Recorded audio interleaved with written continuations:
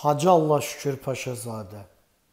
Bu insan uzun illərdir Qafqazın şeyxi vəzifəsini icra edir. Hətta Hacı Allah Şükür Paşazadənin ölkə daxilində çox əxlaqsız və ləyaqətsiz insan olduğuna dair dəfələrcə sosial şəbəkələrdə video və materiallar yayılmışdır. Bu gün isə Allah şükür Paşazadənin vəziyyəti ağırlaşdı. Sonu gəldi. Sual işarəsi. İndi isə bunlara belə deyim, bunları işıqlandırmağa çalışacağam. Kanalı bəyənin, videonu bəyənin, paylaşın və paylaşın ki, bu tipli materiallar daha çox olsun. Dəyərli Azərbaycanlılar, ölkədə doğrudan da molla, şeyx və s. bütün bu din altında birləşən bir qrup dələduzlar var. Və bu təəssüflər olsun ki, dələduzların başında dayanan Hacı Allah şükür Paşazadədir. Hətta ona başqa cürə də deyirlər. Mən isə leksikonumu pozmuram. Axı bilirsiniz, uzun aylardır mən təhqirdən və yaxud leksikon pozuntusundan istifadə etmirəm. Hər şey vətən üçün. Dəyərli, hörmətli Azərbaycanlılar, Hacı Allah Şükür Paşazadənin sonu yaxınlaşır.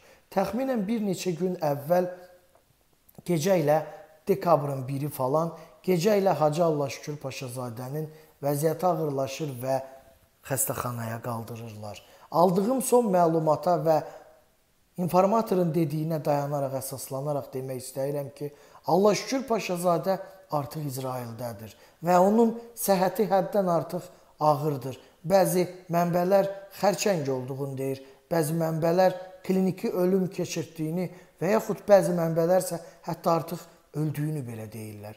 Amma mən isə tam dəqiq bilmirəm ki, hal-hazırda ölüb ya necə. Bildiyim dəqiq məlumat budur ki, Hacı Allah şükür Başazadəni İsrailə qaldırıblar. Gecə ilə qaldırıblar İsrailə. Vəziyyəti heç də ürək açan deyil. Ölüm ayağındadır, yaxud nətər necə. İndi Allah şükür Paşazadəyə əgər sağ qalacaqsa, bu videonu izləyəcəksə, yaxud onun ətrafında, qohum əqrabasında onlara bir sual vermək istəyirəm. Şərəfin vicdanın nə olduğunu bilməyən hörmətli Hacı Allah şükür Paşazadə öldükdən sonra dünyasını dəyişdikdən sonra axirəti görəsən necə olacaq? Heç sizlərə maraqlı deyilmi? Ey Allah şükürün qovm əqrabaları. Mənə şəxsən maraqlıdır. Axı demişdi bir çıxışlarında, mən, yəni o vicdanın nə olduğunu bilmirəm demişdir. İndi isə şərh bölməsində yazın. Allah şükür Paşazadə, ya belə deyək, şəfa diləyə bilərikmi? Rəhmət oxuyacağıqmı? Yoxsa o vicdanın nə olduğunu bilmir. Bu tipli videoların daha da çox izləmək istəyirsinizsə, motivasiya olun.